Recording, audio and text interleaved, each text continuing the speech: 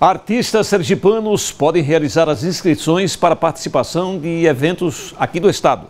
A inscrição é de forma presencial até a próxima sexta-feira. O Complexo Cultural Gonzagão foi o local escolhido para a realização dos cadastros dos artistas sergipanos que desejam se apresentar nos festejos juninos do estado. O procedimento, que era online, passou a ser presencial. Essa modificação, ela tem principalmente um aspecto positivo, né? uma nova chance que nós percebemos que a maioria esmagadora dos artistas, por algum motivo, não se sabe se por algum problema técnico no mapa ou por alguma falta de habilidade é, com a questão do mapa em si, é, faltaram alguma documentação.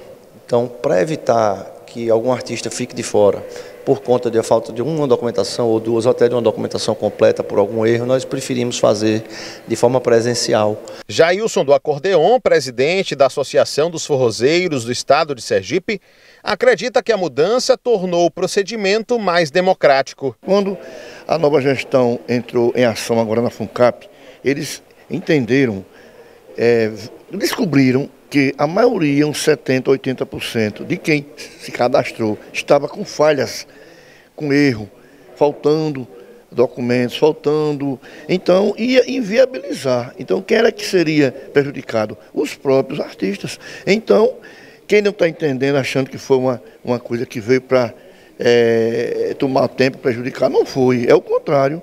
Veio ser justo com todos. As inscrições seguem até a sexta-feira. E é bom frisar, mesmo aqueles que já haviam realizado o cadastro online precisam refazer o procedimento presencialmente. Das 8 horas da manhã às 4 horas da tarde, os interessados podem levar os documentos e já na hora receber a confirmação de que tudo está correto e não há nenhuma pendência. Para muitos é a oportunidade de se apresentar nos grandes palcos do estado. Muito importante para a gente poder levar é, a nossa cultura, né?